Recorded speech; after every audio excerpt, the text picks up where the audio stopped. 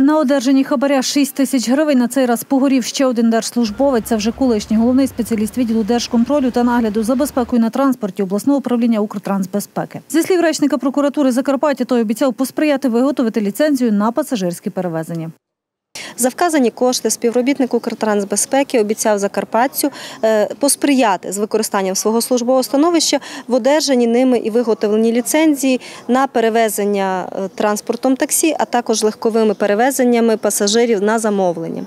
Спеціаліст уже колишній, бо виявляється, на момент затримання правоохоронці брали вже звільненого посадовця. 23 серпня він вважається офіційно звільненим. Арештовували його 26-го. Загалом чоловік з восьми місяців пропрацював лише п'ять. Інший три був на лікарняному. Попри такі короткі терміни роботи, був дуже ефективним працівником, каже Сергій Слободанюк. Заяву на звільнення підозрюваний написав 9 серпня через стан здоров'я. за станом здоров'я він подав заяву, тому що у нього е, інвалідність третьої групи по загальному захворюванню. Е, Його діяльність да, пов'язана з рейдовими перевірками.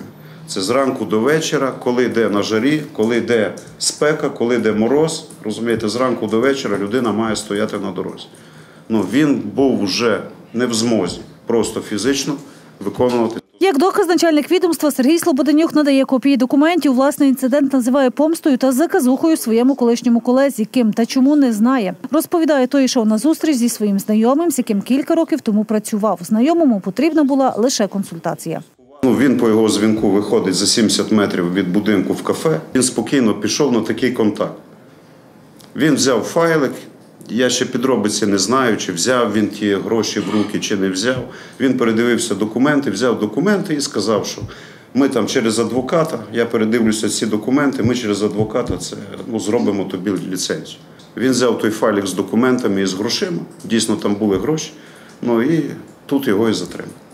Зі слів Слободенюка, чоловіка відпустили додому. В нього вже є адвокат. Прокуратура ж буде клопотати про обрання йому запобіжного заходу. Якщо провину колишнього посадовця доведуть, йому загрожує до 10 років за гратами з конфіскацією майна.